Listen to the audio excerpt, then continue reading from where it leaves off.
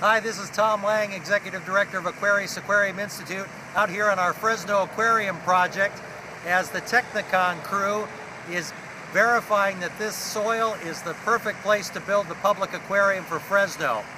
They're out here and so far everything's pointing in the right direction. We have great compaction, great soil out here, the perfect place to put this beautiful public aquarium.